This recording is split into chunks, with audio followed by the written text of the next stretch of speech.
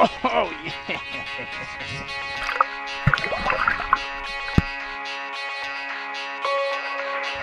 Pity on a few fish, but.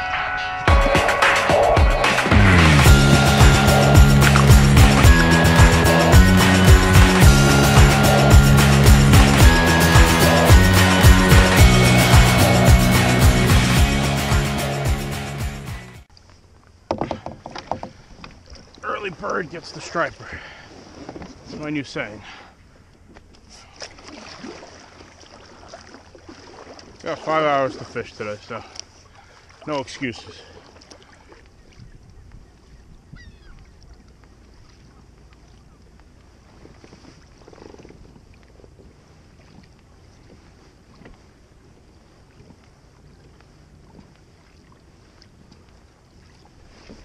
Oh, yeah.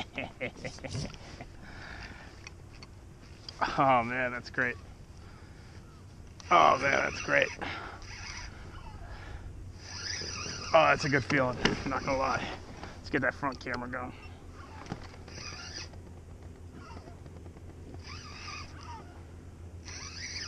It's a good feeling when you catch your first fish on one of your lures. I'm in the money spot already. That didn't take me very long. What we got? Nice striper.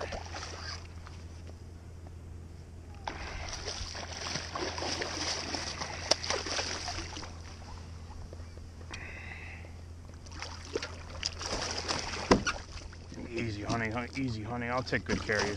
I ain't one of these animals that are gonna beat the hell out of you. Don't worry.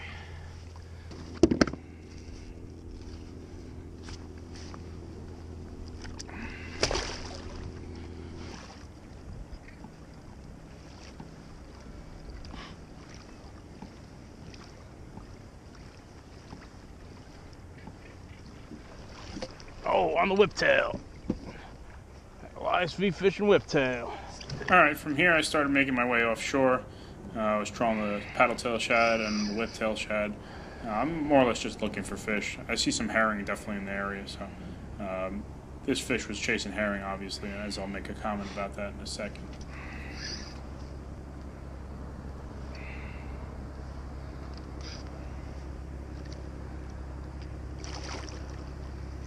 These fish are on herring.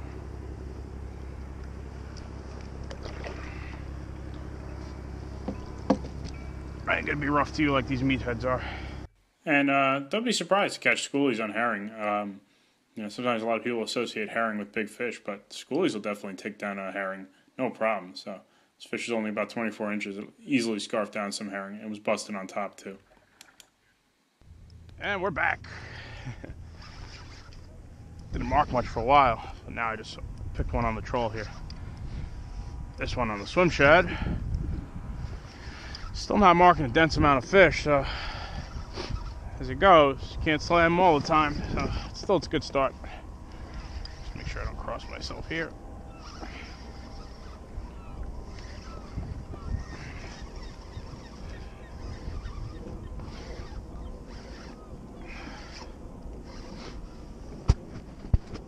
Marking a few fish.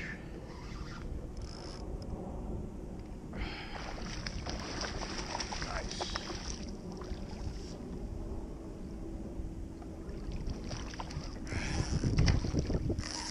Oh, there we go. There's the fish. if you want to see what striped bass look like, that's what it looks like. All right, all those times you guys asking me, what do I look for? This is what I look for. Alrighty. Don't worry. Those meatheads will rough you up. I won't. Alright. We're in the game. That looks like a good body of fish.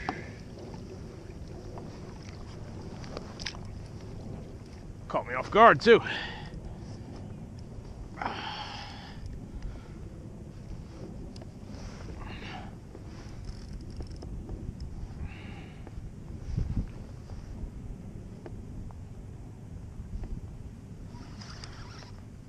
It's a nice feeling catching on your own lures, man. It's a good fish. A little better than before.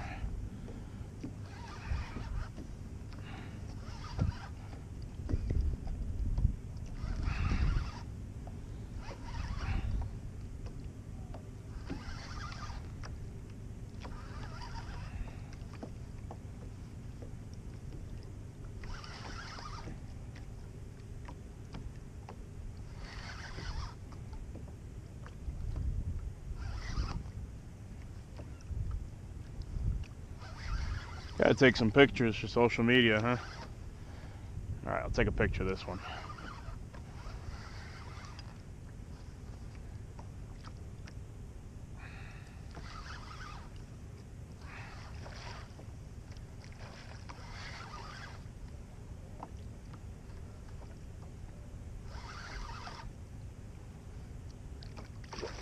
It's a good fish, actually. Bigger than last year.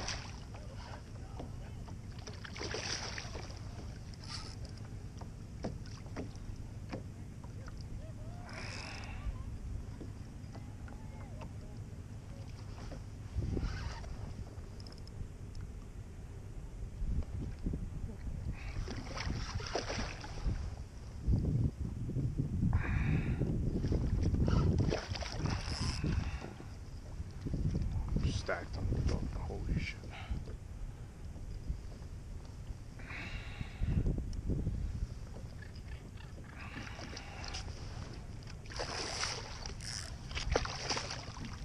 There's a keeper. It's a pity I don't keep fish, but this is a keeper. Easy, honey. I take good care of my bass.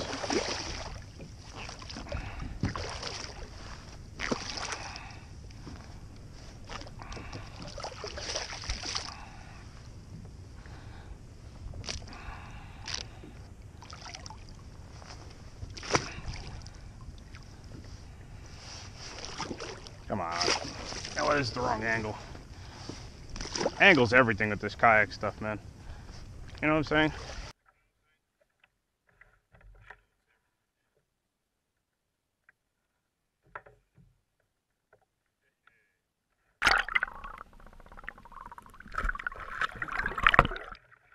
All right, so here's your brief 411. Um, this bite was very fickle. Water temperature was just about 50 degrees on the nose. These fish were not actively feeding. Maybe early in the morning they were a little more aggressive, but uh, they were set up pretty shallow. Boats were a lot of boat traffic put some pressure on them too. On top of that, and um, you know, working the rod made a world of a difference. Even though I wasn't working it the whole trip, um, anytime I ran into really heavy fish marks, I'd grab the rod and make sure I'd throw in and incorporate an extra twitch. Majority of these fish are going to be in the you know the low low uh, to mid 20 inch range, but you know there were there were keepers in the mix, and you'll see in a second. Um, you're going to see me lose a real nice fish, and you know you can berate me on the internet about it, but um, this will give you an idea of when I decide to work the rod and when um, you know just cruising around in the rod holder. If I'm going through real heavy patches of fish, absolutely, I'm grabbing a rod and I'm ready to go to set the hook into that fish. Um, doesn't matter with what I'm trolling with at the same time, also. Um, I don't rely on the rod holder to set the hook ever. So, all right, here's another nice uh, low 30 inch fish. Uh, this one I'm giving a real quick release to. I like to get these fish, try to get them back in the water. When the spines or the dorsal fins are up, that's how you know these fish are in good shape and ready to go.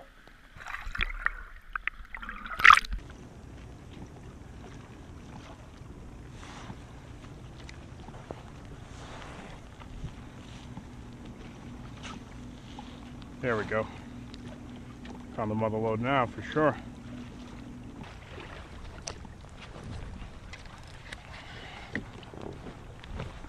Second time's a charm.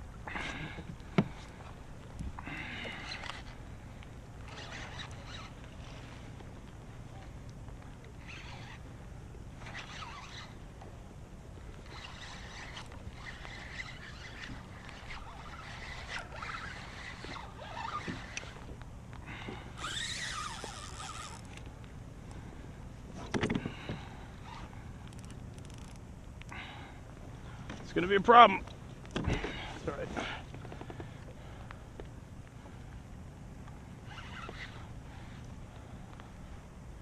Deal with it later.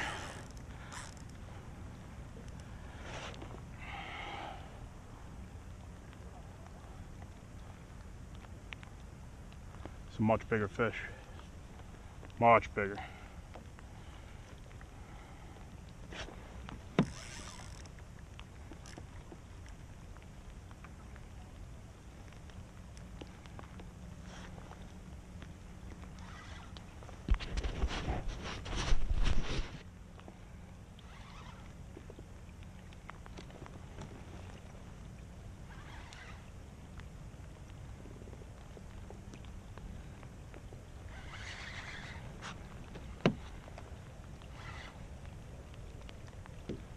That later.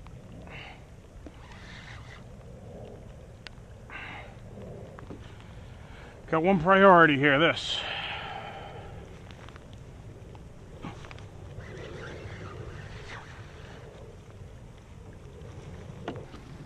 All right, at this point, the bite really slowed to a crawl. Uh, I started working a second rod in the mix with it, uh, with a different type of shad that I was using earlier and catching a few fish.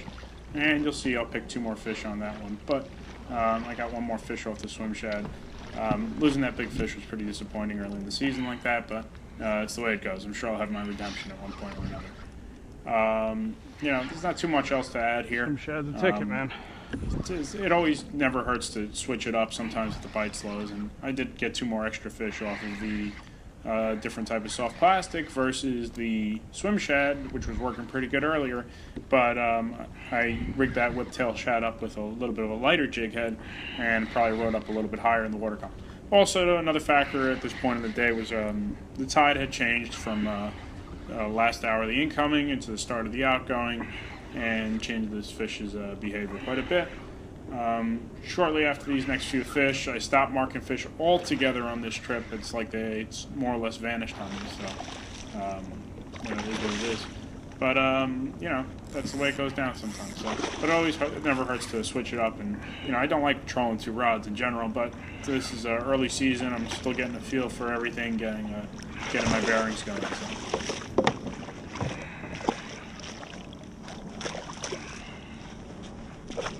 Bye. Oh, I'm in. Whiptail strikes.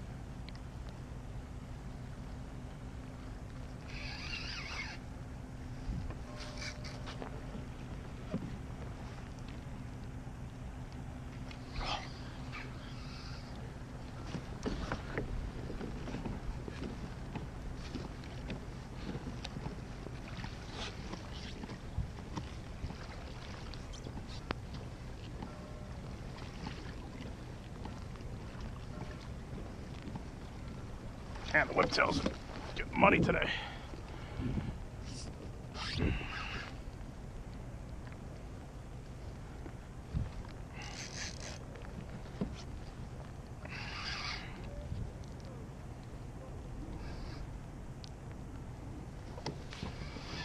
Earlier was the swim shad.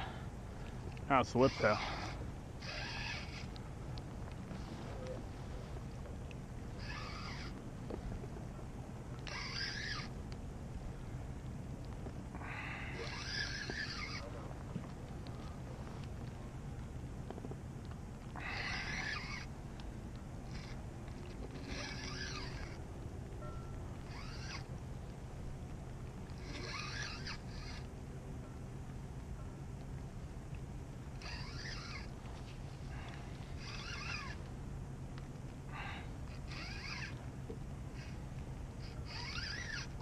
that's alright. It's part of my game here.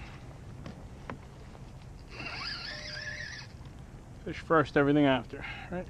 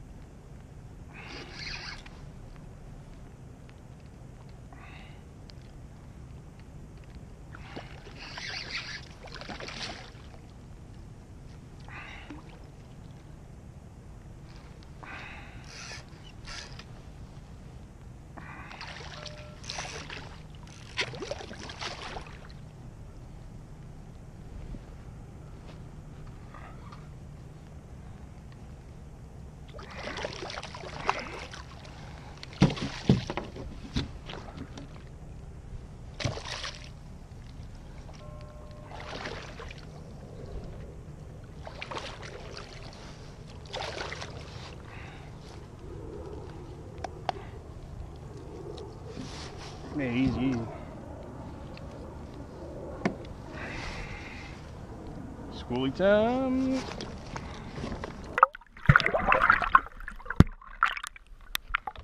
All right. You know what? Not a bad start to the season. Rain's coming down good now. Basically packing it in from here. Got a little bit of a ways to go back to the launch site. Um, but ended up with two keepers. Um, I think I'm like six or seven shorts. I would have liked to see that fish I lost. That was a good fish, you know. It was definitely uh, at least a mid 30 inch fish. I felt like it was a real nice one. But, you know, chalk it up to a little um, winter rust. Uh, maybe if I wasn't futzing around with the camera out there over there. You know, a lot of guys won't post up dropping fish in their videos because uh, it's a little embarrassing. Yeah, yeah, you want you come off as this big expert, but you know it happens. Uh, anyway, um, be back out here soon. Um, comments or questions, leave them on my YouTube channel. And if you like what you see here, uh, please subscribe. Tight lines, guys. Down a herring, no problem. So this fish is only about 24 inches. It easily scarfed down some herring. It was busted on top too. And we're back. Didn't mark much for a while, but now I just picked one on the troll here. This one on the swim shad. Still not marking a dense amount of fish, so as it goes, you can't slam them all the time. So still, it's a good start. Just make sure I don't cross myself here.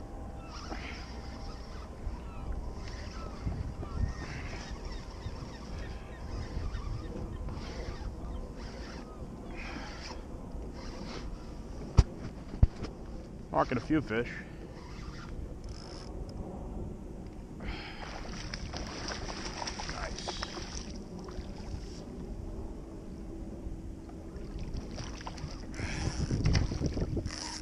Oh, there we There's the fish.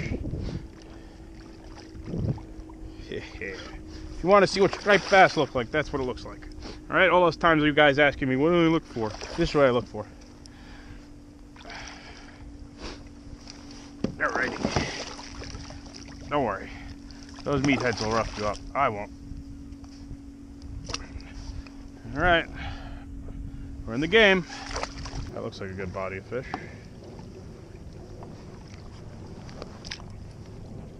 Caught me off guard too.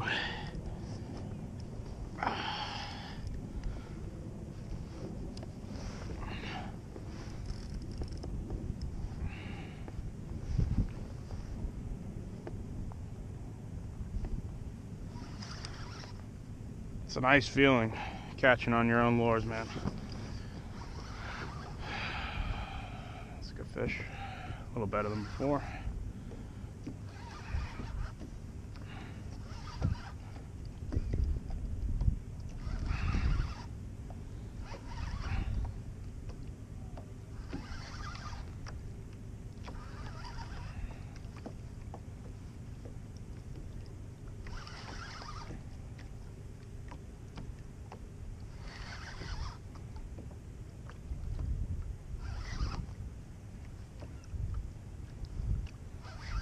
Gotta take some pictures for social media, huh? Alright, I'll take a picture of this one.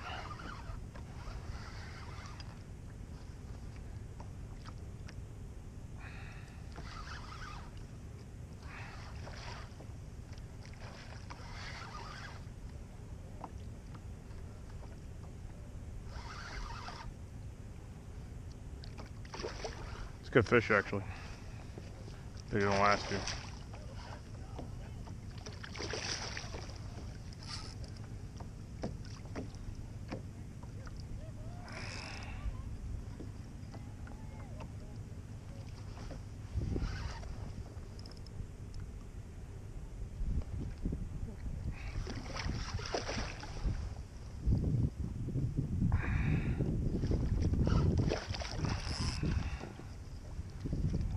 stacked on the boat. Holy shit.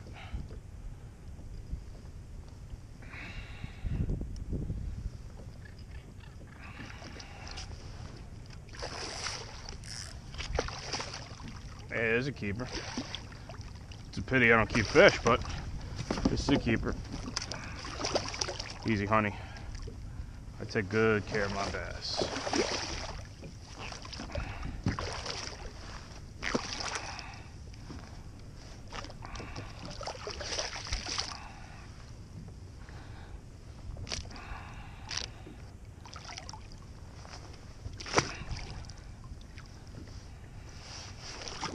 Come on. That was the wrong angle. Angle's everything with this kayak stuff, man. You know what I'm saying?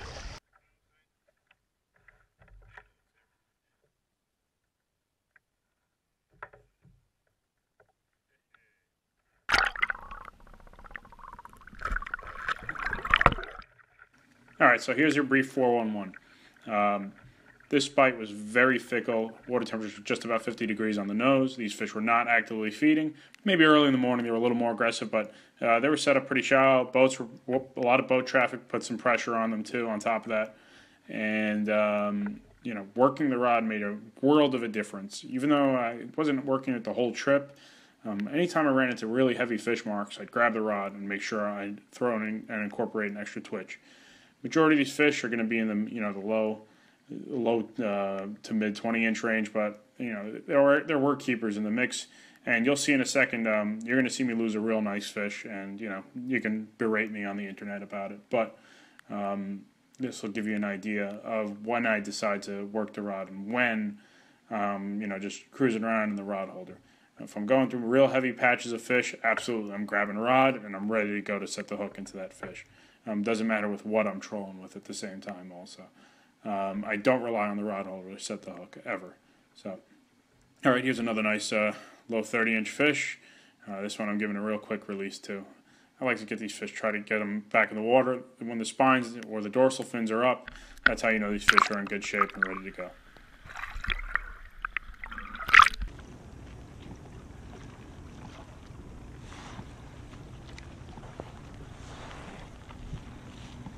Finished on these, so um, it is what it is.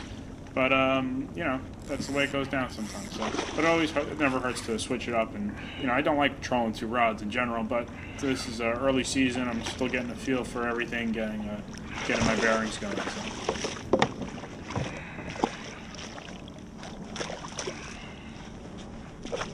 Bye. Oh, I'm in. Whip tail strikes.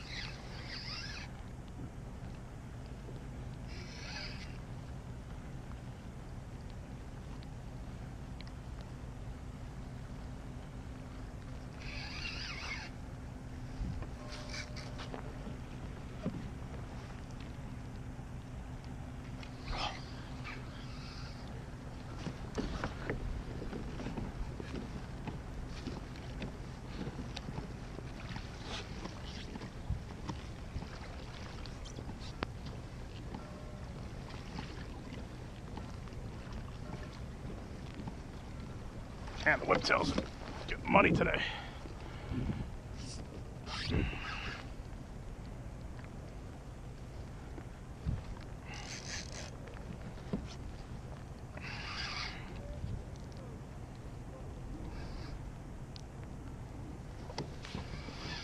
Earlier was the swim shad. Now it's the whiptail.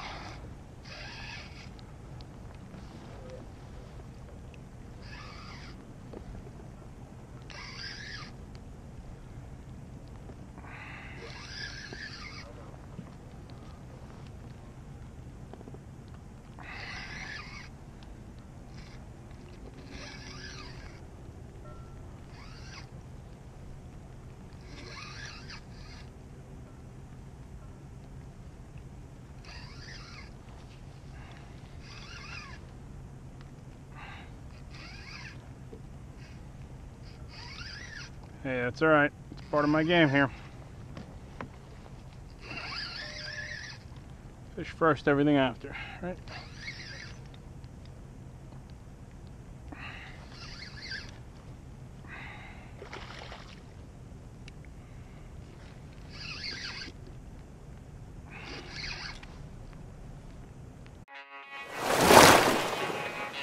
Oh, yeah.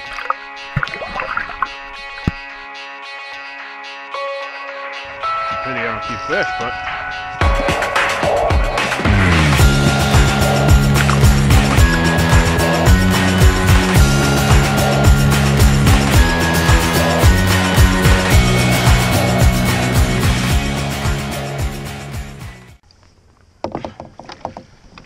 early bird gets the striper. That's my new saying. Got five hours to fish today, so no excuses.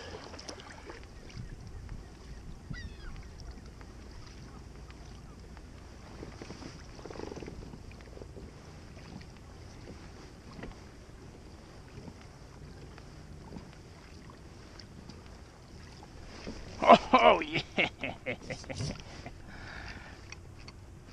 Oh man, that's great.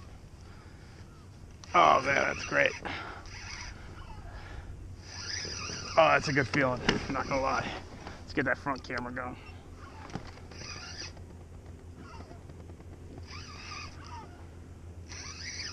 It's a good feeling when you catch your first fish on one of your lures. I'm in the money spot already. That didn't take me very long.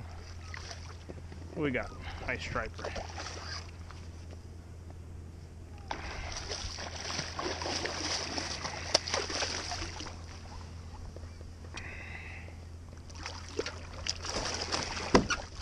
Easy, honey, honey. Easy, honey. I'll take good care of you. I ain't one of these animals that are gonna beat the hell out of you. Don't worry.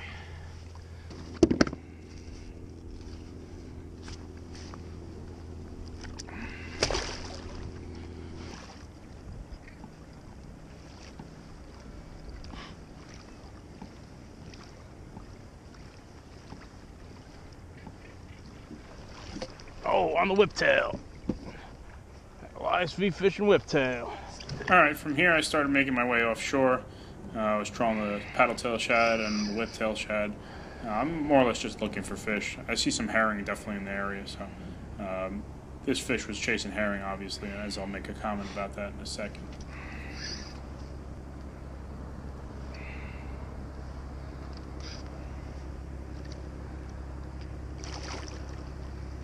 These fish are on herring.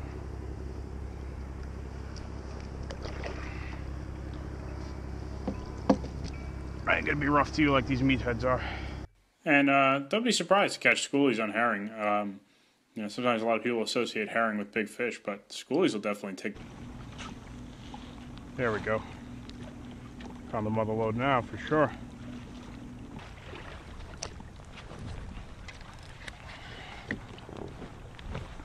Second time's a charm.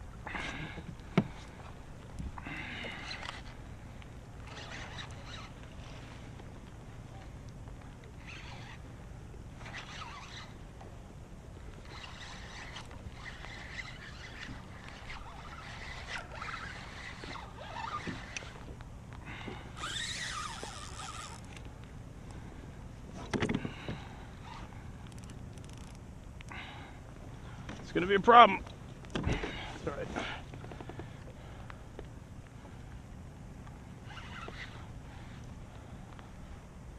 Deal with it later.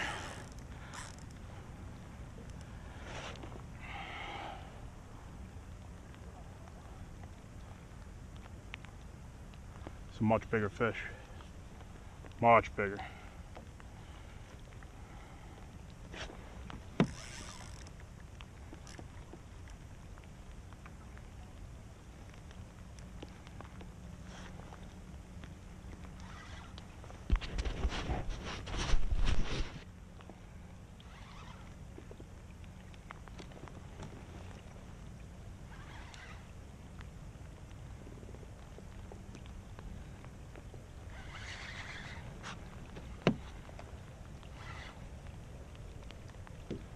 That later.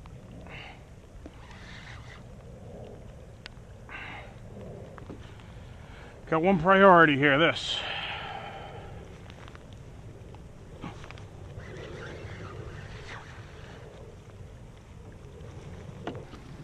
All right, at this point, the bite really slowed to a crawl. Uh, I started working a second rod in the mix with it, uh, with a different type of shad that I was using earlier and catching a few fish. and you'll see I'll pick two more fish on that one. But um, I got one more fish off the swim shad. Um, losing that big fish was pretty disappointing early in the season like that, but uh, it's the way it goes. I'm sure I'll have my redemption at one point or another. Um, you know, there's not too much else to add here. Swim shad's a ticket, Um, man. It always never hurts to switch it up sometimes if the bite slows, and I did get two more extra fish off of the uh, different type of soft plastic versus the swim shad, which was working pretty good earlier. But um, I rigged that whiptail shad up with a little bit of a lighter jig head, and probably rode up a little bit higher in the water column. Also, another factor at this point in the day was um, the tide had changed from uh, uh, last hour of the incoming into the start of the outgoing, and changed this fish's uh, behavior quite a bit. Um, shortly after these next few fish, I stopped marking fish altogether on this trip. It's like they, it's more or less.